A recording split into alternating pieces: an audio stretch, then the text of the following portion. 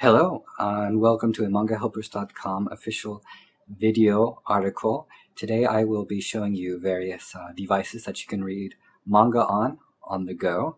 Uh, the very first um, device I want to show to you is a uh, mobile phone, cell phone.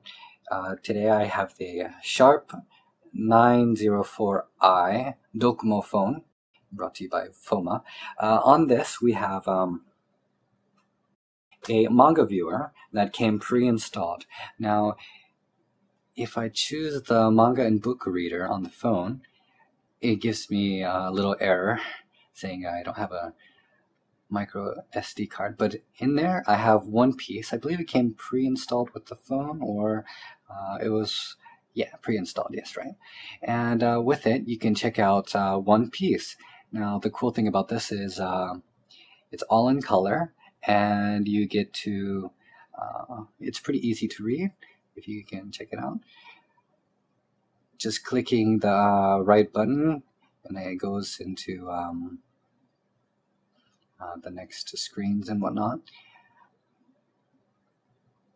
It's pretty uh, easy to read. The font's really big. I guess the only um, problem with it really is that you don't get the whole screen, and so it kind of seems like you're reading a, a four koma magazine manga thing, and so it doesn't have that full uh, effect like you're reading from a book. Now, if you're kind of craving that, then uh, I have another device. It's a relatively new device. It's called the Android phone uh, by Do- or by Google actually, uh, teamed up with again Docomo. Now with this phone, uh, you just download the program ACV, and in ACV, uh, you just open up a file. It can take many different files, for example, zip or RAR format. So you don't have to uh, get a special format to read it.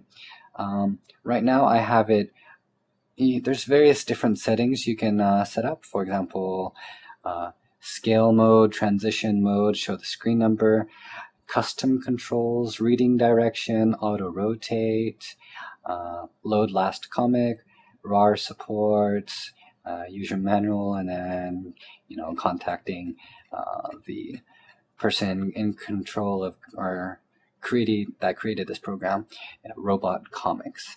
Now, um, currently I have it uh, right to left Japanese style because uh, I'm reading the manga in Japanese. Uh, and I also have uh, various custom controls. For example, in it, uh, I like to have it um, like here. Here it is in full scale mode right now. But uh, if I double click on the screen, it zooms in. And uh, if I press the back button, it zooms out. Now, I like to get it to about where it's this big on the page, and I don't really have to do any scrolling. Now, right now I have, uh, if, if I press the ball, I go to the next page. Now, here you can see it seems pretty nice. Um, the font is well enough, you know, big enough to read. If, for example, if it does get to the point where it's really small, all I do is double click and I can zoom around, use the little ball to rotate pages. Now, currently for me, it's very convenient to read uh, on the cell phone because the pages are quite, you know, pr- quite pretty. I mean, well, high quality in my case. Uh, and I have no problem, you know, reading the font and going to next pages. And I can put quite a bit of manga in it, depending on the size of the SD card. And overall, it's a really, really nice reading experience. Uh, for example, if you don't have a nifty uh, Android cell phone, uh, but you have a PSP, uh, there's also various programs that allow you to um, read manga on your PSP. Now, Sony has created a, uh, or is creating a official one that they will be releasing soon. And I actually got a chance to, you know, use it firsthand at the Tokyo Game Show. Uh, let me give you a little bit of my opinions. First of all, uh, when you're reading it on the official one, all I was able to read was uh, in this mode, you know, having it horizontal versus, you know, having it being vertical. Now, when it's like this, uh, you press the button and it would go like the cell phone, uh, go to different frames. And overall, you didn't really get to see the entire uh, page. And I found that kind of annoying. And I tried to change the settings, you know, to have it vertical. While it did go vertical, it would only show the vertical page like this. So it was really super tiny, and overall, I found it quite hard to use. But uh, if I have it uh, like on this program, it's uh, just a regular uh, picture viewer. You just have the entire page like this, and if you want to go over to the left a little bit, you press, you know, the left button, and I can either read like this, and press the button again, read, overall really really easy to read. You get the whole page so it's not like uh, not like you're reading something um, well it kind of gives the book feel i guess i should say. And overall i found it you know a very nice and enjoyable read. Now the other device that i wanted to show you is a uh, ebook reader. Now, I got this ebook reader when they first came out, the uh, Sony ebook reader.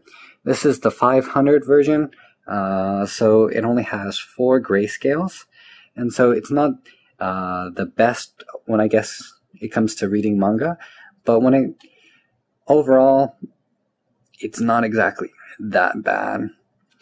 Uh, there are some books that are uh, released in the ebook store, specifically designed for it, and I think it gives a really good um, gives a e-reader justice. But uh, overall, uh, it's not bad either.